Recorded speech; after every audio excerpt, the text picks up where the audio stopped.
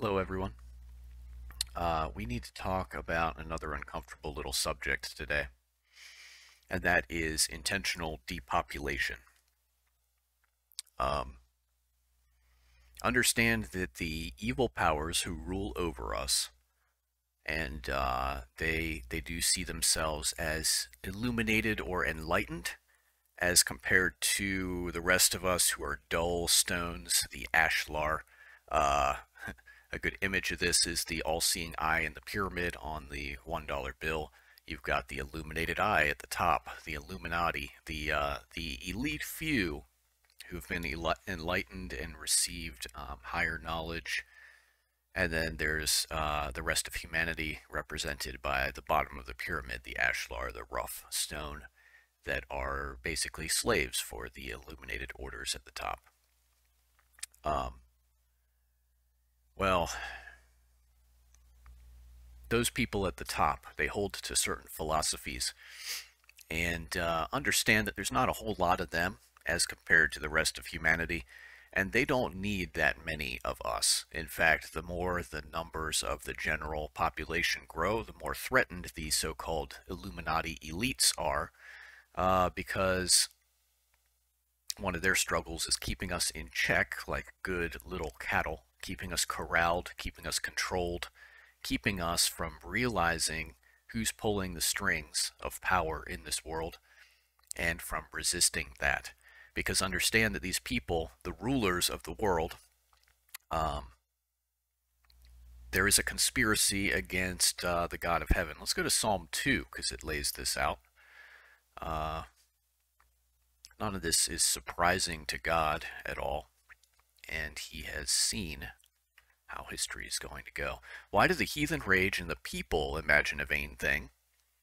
Okay, so first we're focused on the masses. Why are the masses all stirred up? Why are they caught up in vanity and emptiness and these foolish philosophies? Well, it's because, verse 2, the kings of the earth set themselves, and the rulers take counsel together against the Lord and against his anointed, saying, Let us break their bands asunder and cast away their cords from us. So what's going on here? Well, the powerful people in the world don't like to acknowledge the authority of the Creator God. And so they want to break his bands and cast away his cords. What are those? Those are the the the laws and the moral constraints and the authority that God has over humanity. And these uh, these arrogant rulers want to destroy the, uh, the, the proper order of things with God as the authority and humanity um, underneath him. They want to cast off God's yoke. And uh, so what does this have to do? The rulers um, establishing this conspiracy against God, what does that have to do with the masses raging and the masses being caught up in vanity? Well, um, look at what happened about 140 years ago, where we had a, a massive shift in uh, what was being taught as uh, science, taught as established knowledge, uh, where we had uh, Rockefeller and Rothschild conspiring to um, control and establish public education systems in um, in Europe and in the United States for the purposes of uh, teaching their worldview to the masses. And then uh, Freemasons also claimed that they had a part in the uh, public education system and setting that up. And um, you have, uh, you know, universities and stuff that are also pushing very particular worldviews on people and essentially brainwashing people. You have uh, the media, which tells people what to think. You have the government, which tells people what to think and how to behave. Uh, you have the entertainment industry like Hollywood, uh, which is deeply steeped in occultism and other uh, very dark spiritual things um, that is influencing people. You have these celebrities who are themselves brainwashed and mind programmed and shallow, empty people, but because they're glamorous, uh, these musicians, these actors, and these other personalities wield tremendous influence over the masses, and the masses emulate them and try to behave the same way. Understand that the kings of the earth and the rulers, they're against the Lord and they don't want anyone else. They don't want the common people worshiping the God of heaven. They don't want to be reminded of the existence of the God of heaven at all. So we've got Darwinism, we've got communism, we've got Marxism, we've got humanism, we have all these world systems that those elites uh, and false religious systems as well that the elites have established to erase knowledge of the God of heaven. And um, if they can do that, if they can destroy God's word, if they can destroy God's people, and they can destroy any memory of the God of heaven, of Jesus Christ, um, they believe that they can win against God in a practical sense just by cutting that link between heaven and earth. So that's really what's uh, these people at the top, you know, um, they've been described as, and they are, Luciferians.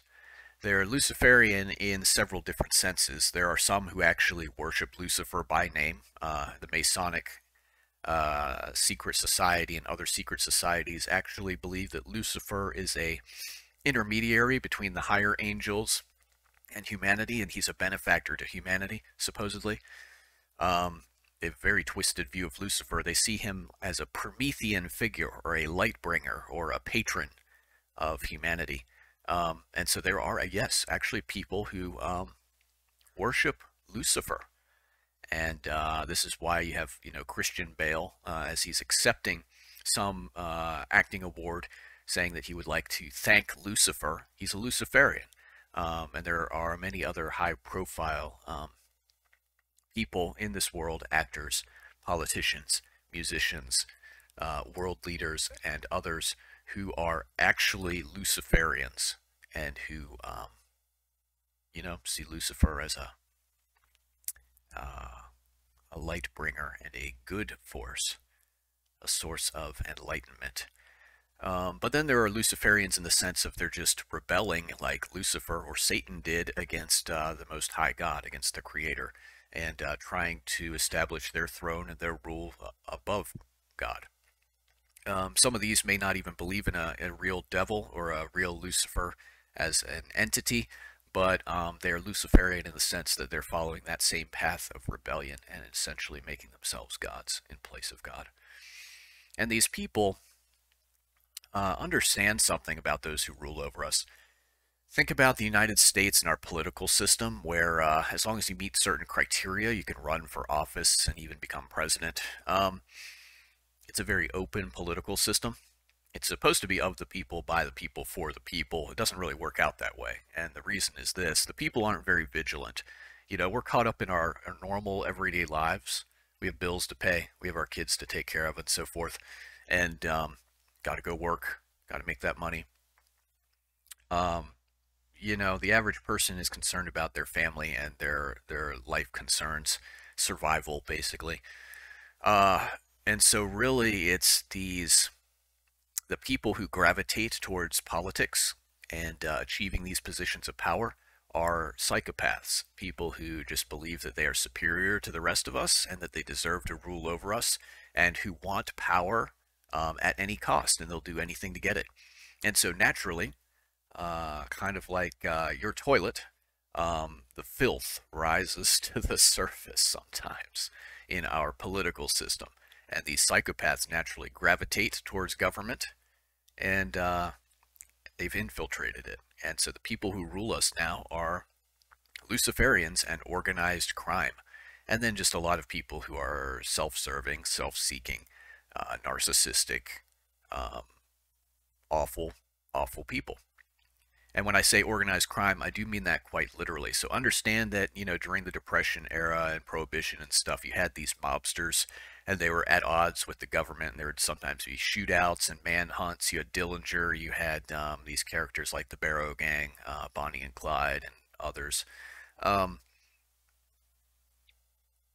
the organized crime families and the cartels and the Italian mafia and so forth, these people slowly began to realize why fight government all the time when in an open society like the United States, we can become government. And then uh, we, we won't have this conflict anymore. We'll be able to do our operations unimpeded. And that's exactly what has happened.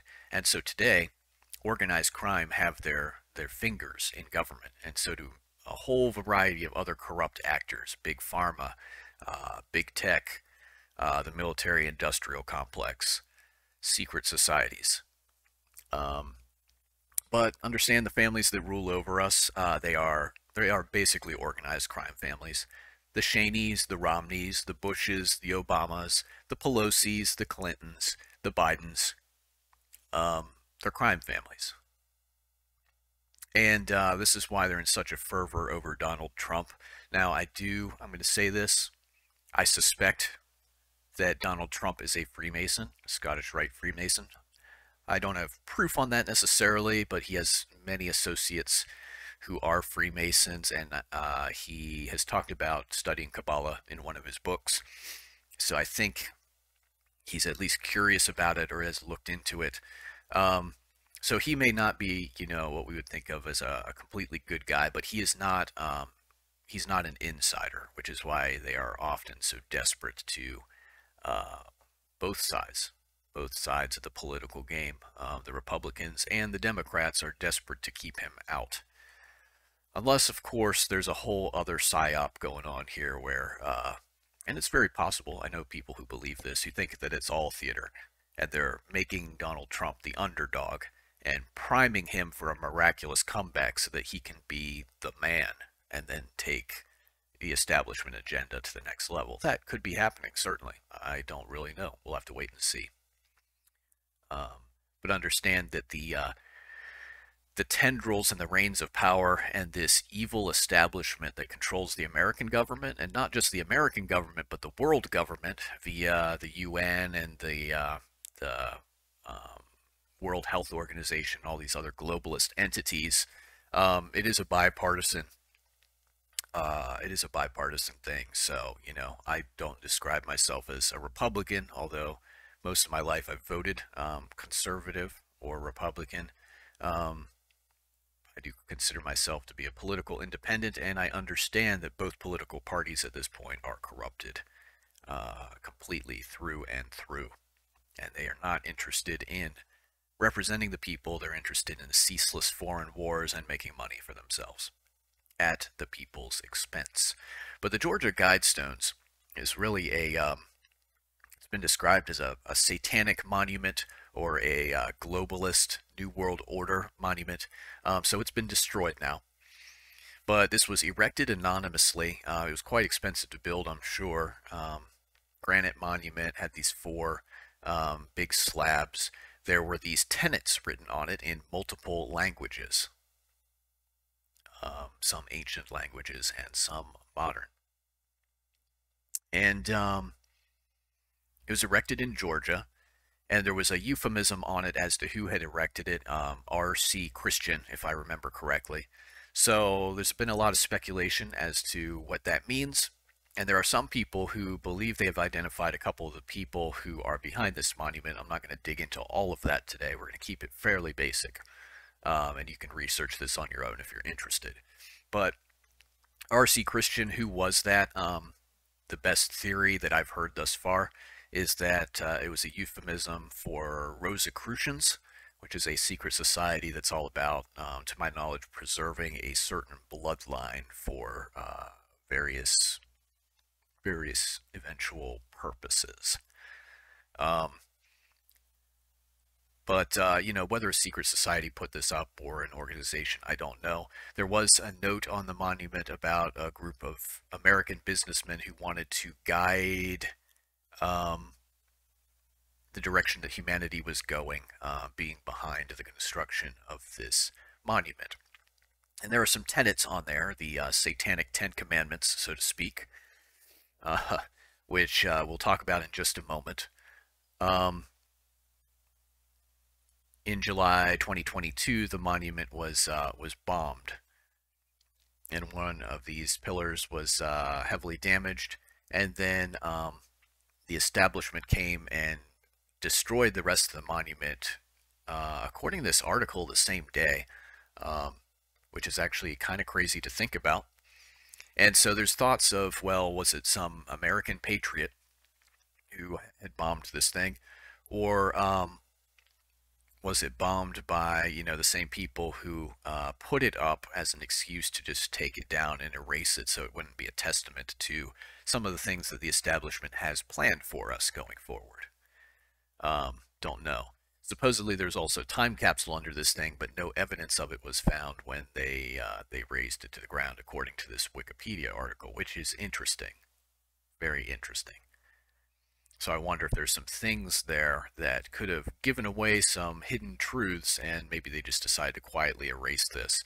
And this really was not covered much at all um, by mainstream media, which is absolutely insane to think about. Um, you know, you had a monument bombed on American soil. Uh, now, it, it was on private property and everything. It was a private monument, sure, but um, this was a pretty well-known thing in, uh, you know, truther and conspiracy theory uh, circles. Um, would have made a great story, but it was very much quiet, hush-hushed, you know, um, and I'm sure there are reasons behind that. So there's still a lot of question marks about this. Um, Let's go down to uh, some of the things that were on this monument because it's really interesting. So this was written in multiple languages on the monument.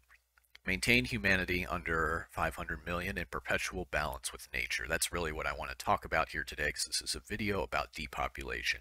And this is one of the, uh, the major goals of the Luciferian elites or the Illuminati or whatever you want to call them, uh, these degenerates who rule over us guide reproduction wisely, improving fitness and diversity.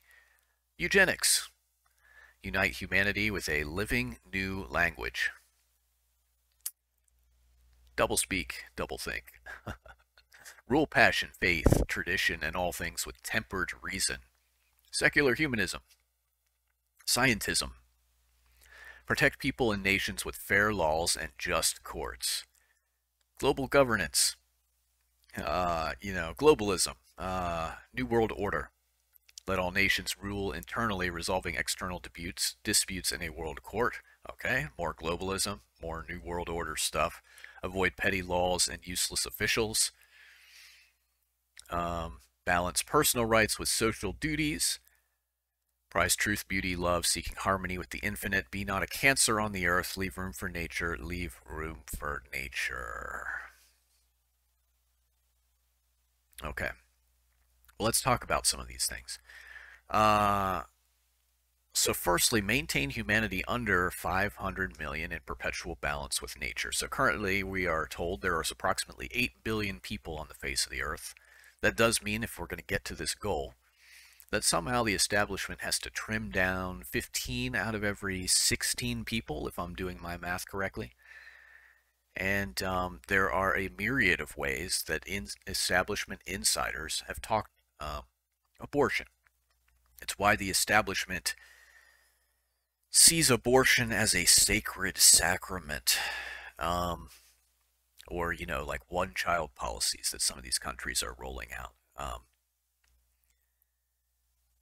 they, uh, they don't want more kids to be born, you know? Uh, they want to keep those the population down. They want to trim things down. And then, of course, there's war and man-made famines um, and man-made bioweapons and diseases.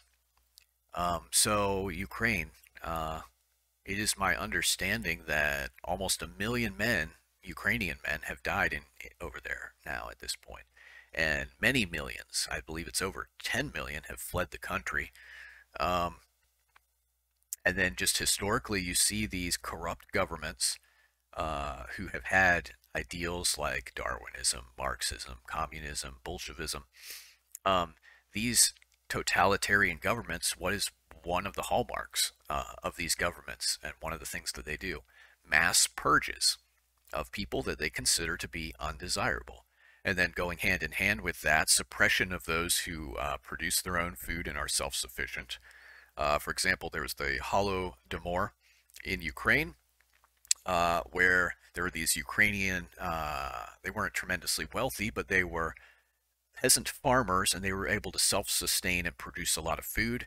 And so they were basically massacred um, to, uh, you know, make people uh, more dependent on government and to get rid of people who were uh, too self-sufficient And we see in South Africa right now. The Boer, who are they? Well, they're, they're, they're self-sufficient independent farmers. Uh, they're also white people.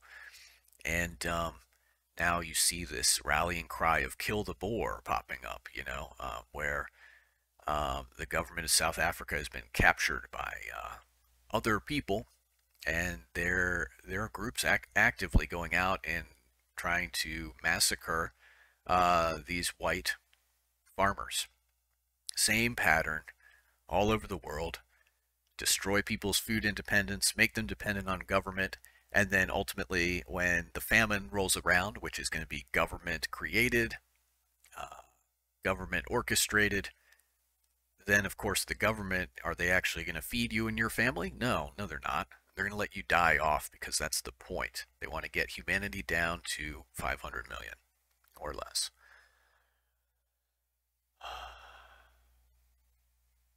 Why?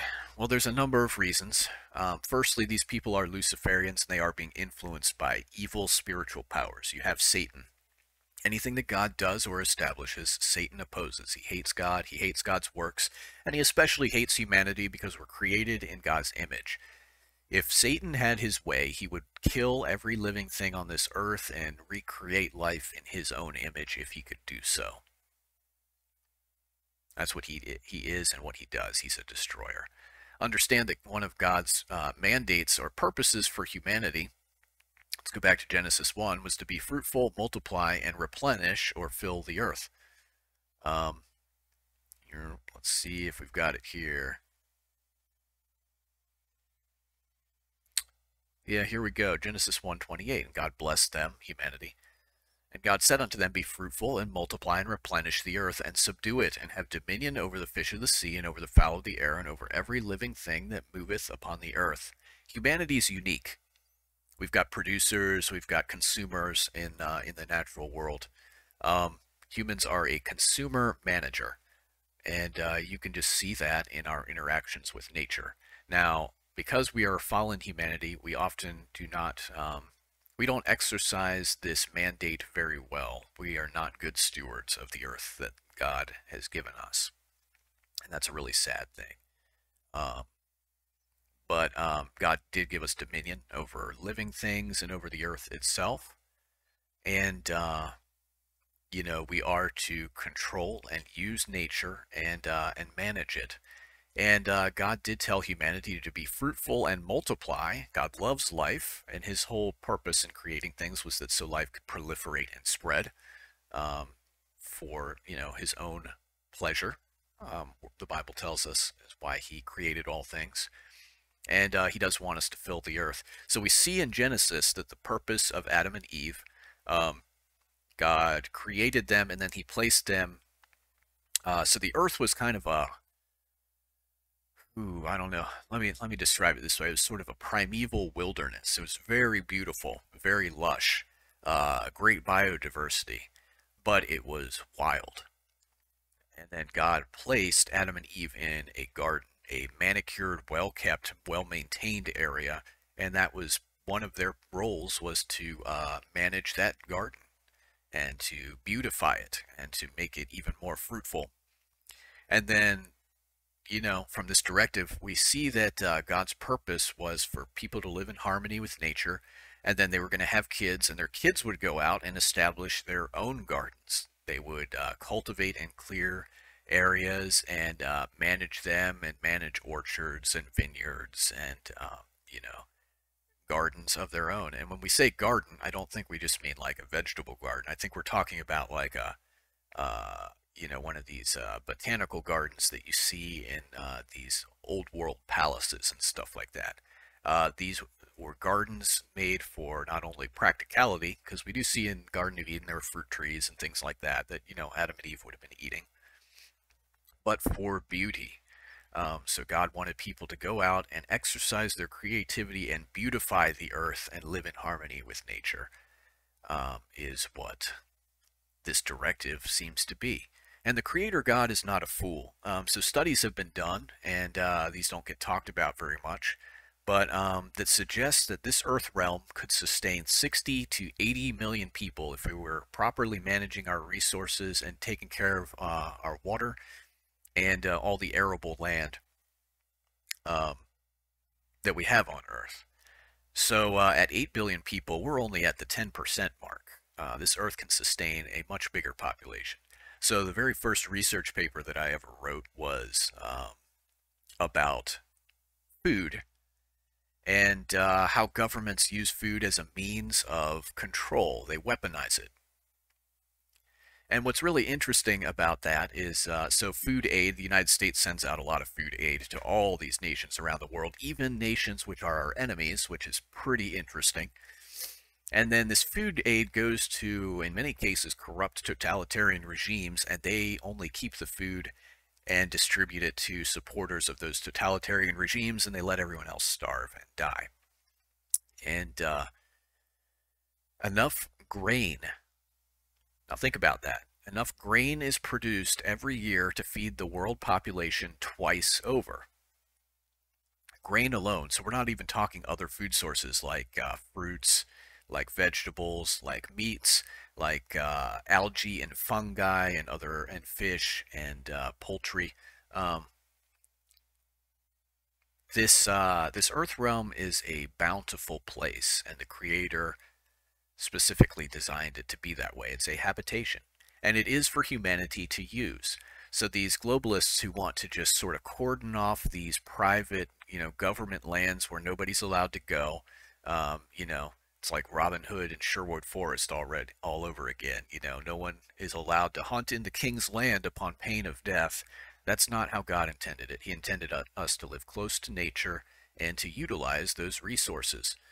Um, and God's not a fool. There's more than enough to support humanity for the foreseeable future, uh, for thousands of more, more years without us having to do anything about balancing the population, all we have to do is manage the resources that we've been given in a responsible manner. And the world governments, because of human greed and the broken worldview of these of these stupid, stupid satanic elites, so-called, um, is a result of a great deal of human suffering. And despite having tons of food, more than enough to feed everybody, there's a, a, a great deal of waste.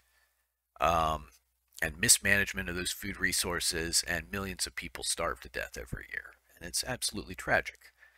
But uh, shouldn't surprise us. Jesus Christ said, "The poor are always with you." Why is that? Because no, no matter what, you, you know, there's plenty of good humanitarian um, people who are trying to help out with world hunger and you know things like that, homelessness and all this. But ultimately, the thing that drives poverty and all these other evils and ills is ultimately human nature and human greed. And uh, humanity can't solve that problem on its own. That's why, um, you know, the Bible tells us we need a we need a savior. We need to be cleansed from our sins, that sin nature, uh, that is a cancer and has a uh, the effect of entropy and decay upon this world and upon uh, human society and human institutions and human endeavors. Um, anyway, weaponizing food. What's really interesting, so I talked in my recent video about the horsemen of the apocalypse, how I believe they are the lead up to the tribulation period, and how I believe we are actually there right now.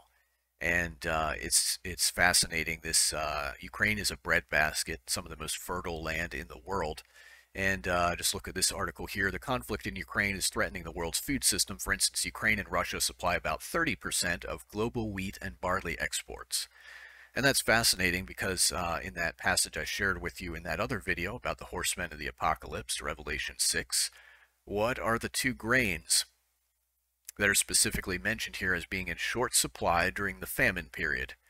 Um, well, and I heard a voice in the midst of the four beasts say, A measure of wheat for a penny, and three measures of barley for a penny. And see thou hurt not the oil and the wine. So what's going on there? Uh, well, you've got wheat, a very quality grain, uh, that is going for a penny, and a penny is about a day's wages. And it's one measure of wheat for a penny. That's extremely expensive. A measure is not very much. And it's three measures of barley, the cheaper, more economic grain, for a penny. Uh, that is also extremely expensive. Three measures of barley is not much. And then see that thou hurt not the oil and the wine, or in other words, this voice is saying, um, as, you know, it's like you go into a store and uh, you see a sign, you break it, you buy it, and uh, you know you're uh, you're telling your kids to be real careful not to touch anything. Because you know maybe there's all kinds of expensive glassware or something in there or whatever. Uh, that's the principle here. See that thou hurt not the oil and the wine, or other words, be really careful with the oil and the wine uh, because these um, uh, are even more expensive than the wheat and the barley. So what are oil and wine? Well, there's some different interpretations of this. Oil and wine were both used for medicinal purposes, um, but then oil is also a fuel um, in the Middle East at the time the scriptures were written. It was used as a cooking fuel, especially, um, and then for like uh, oil lamps for light. And then wine is a, a, luxury as well. So you could look at that and say, well, there are some things like fuel um, that are going to be really expensive as well, and then certain luxuries are going to be just incredibly expensive in this famine famine period of the so-called four horsemen of the apocalypse mentioned in Revelation 6. But it is interesting that uh, the conflict in Ukraine is threatening uh, wheat and barley specifically. Um, those are the grains mentioned there in Revelation. I want to talk a little bit about uh, about Thomas Malthus. Well, before we get to that, uh, let's also just say, so Revelation 6 the book of Revelation talks about some terrible things as we approach the end of history as we know it. So the four horsemen of the apocalypse, um, under them, a quarter of the earth's population is going to die. Uh, let's see here. Yeah. Uh, so the four horsemen are, as I see it, uh, so you have the first one with the crown and the bow. So he's got an airborne weapon and he's wearing the corona. So what is this? I do see this as man-made bioweapons and uh, and plagues. Uh, the second is um, war, world war, taking peace from the earth. The third is famine.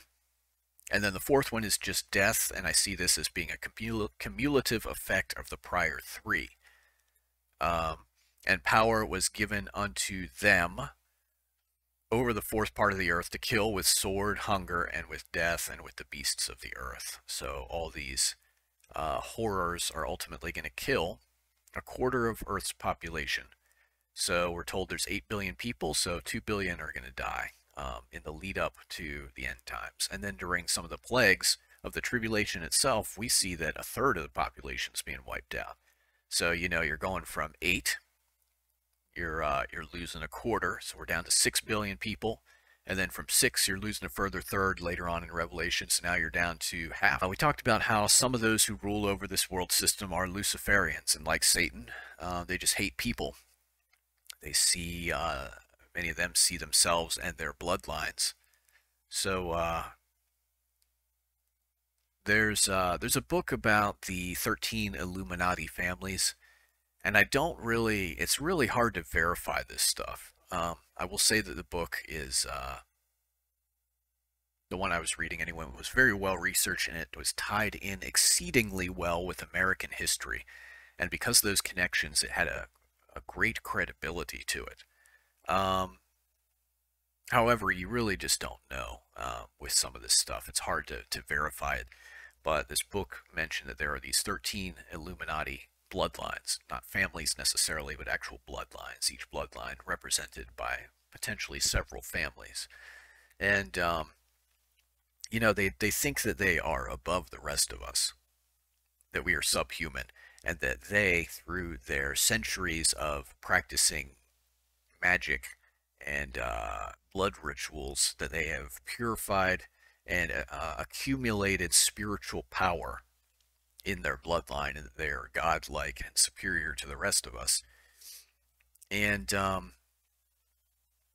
and you know, there's people that just they hate humanity. And this hatred is really uh, inspired by the same hatred that their father, the devil, Satan, uh, has for humanity as well. He's a destroyer. He's an accuser. He is Satan. And that term, Satan, is the adversary. The adversary of what? Of anything that God does. And God created humanity in his image. So of course Satan hates us and wants to destroy us. I want to talk about Thomas Malthus. So these Luciferian so-called elites love Thomas Malthus. Thomas Malthus, I believe, was an economist, and he postulated uh, what I call the Malthusian fallacy. Uh, so the Malthusian fallacy is this. Um, he postulated that production of resources um, grows in a linear fashion while population grows in an exponential fashion. And so eventually you'll hit a point where resources run out and there's not enough to feed everybody. And then bad things start happening in society. Well, the problem with this, look at when this guy lived. Uh, he died in 1834, so he died before the Industrial Revolution. He died before modern agricultural techniques and mechanization and, uh, you know, the internal combustion engine and fertilizers and GMO foods and um, all this other stuff um, that uh, irrigation techniques and land reclamation and hydroponics and uh, uh vertical farming and this guy was before all this stuff. So one thing that he never considered in his worldview was um, that uh, technology could actually multiply the productivity of a hectare of ground by a significant amount. And so, yeah, population's going to expand, but um, the food supply can be expanded as well through technology and uh, even just through more people deciding to use more arable land because there's plenty of land out there. Uh, some of it just needs to be, you know, reclaimed and managed and so forth. Um, there's a lot of land that uh, even something simple like just irrigating it would, uh, given time and the proper irrigation and fertilization, would make that land arable again. Um, yeah, there's a lot of desert area in the in the world, but uh, you could change those deserts with uh, a very little bit of effort. So this guy, and that's why I call this the Malthusian fallacy, because it's kind of a doomsday scenario that this guy postulated. But I mean, he lived 200 years, he died almost 200 years ago. Um, so he wasn't operating on the on the best information. And as I mentioned, you know, around the turn of the last century, around the turn of the year 2000, um, enough grain was being produced to feed the entire world population twice over. Grains alone. So Malthus, this is his his his thinking was a fallacy. It was just incorrect. He uh, he didn't have all the the information available to him. But those who run this world, they love the Malthusian fallacy, and they use it as a justification for this depopulation. And you still hear this talked about, that population is exploding and it's out of control and we don't have enough resources to feed everybody. No, no, that's, that's all lies. It's all lies for the purpose of justifying depopulation. And uh, some of you are, have already started thinking ahead. Um, have you been paying attention to what's going on in society with the uh, homosexual agenda and with the trans agenda and things like that? And uh, and now you have these couples who are what's what's the term? Oh man, I've been seeing these videos online. It's just it's disgusting. I think they call themselves dinks. They're these couples who uh, they're very intentional that they're never going to have children. They're just going to go and live the good life for themselves, and they are proud about it. And they call themselves dinks, I'm pretty sure. And, uh, yeah, um,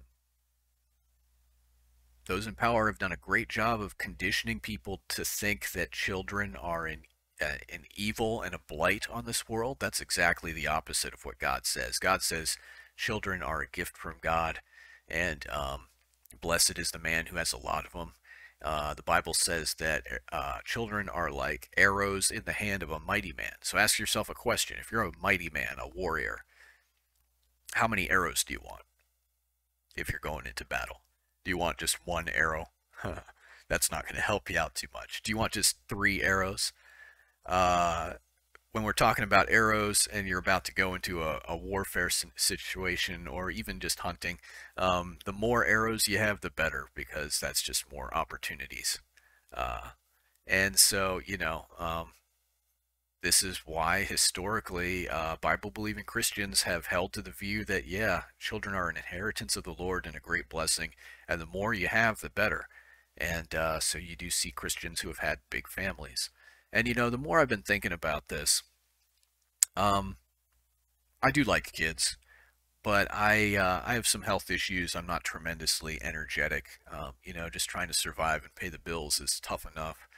Um, I've thought a, a lot about whether I want to have kids or not, and uh, I like the idea of it, but it, it is it does involve some sacrifice and a lot of hard work, and it's a big time commitment. It surely is if you're doing it right, and especially now, if I were to have kids, I would want to homeschool them.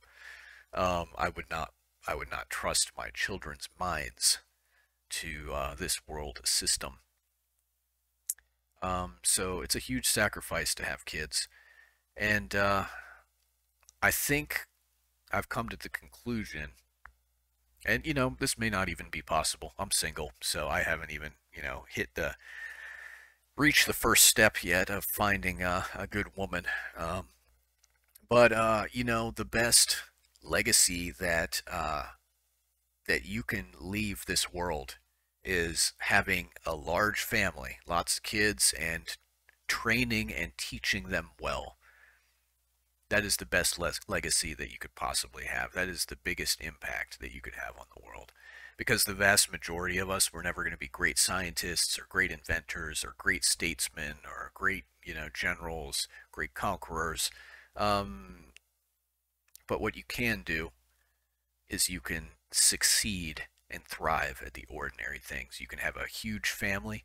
You can raise them in the nurture and admonition of the Lord, teach them discernment so that they can tell truth from deception, and, uh, well, you know, teach them how to defend themselves, how to use a rifle. and um, doing that is probably the uh, the most impactful thing that you could that you could do to have a positive uh, influence on this broken world that we live in. I don't know if uh, if there's going to be enough time to do that. I don't know if things are about to descend into chaos right now, uh, coming up soon in the next couple years. I think it's highly likely. So I don't know. I may have missed my opportunity to, uh, you know, find a good wife and uh, have a family.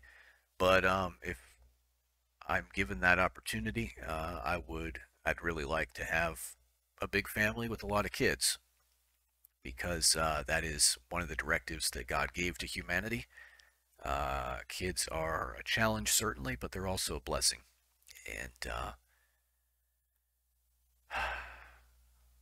and that is an entirely opposite philosophy to this disgusting Luciferian garbage that's being pushed on us from above.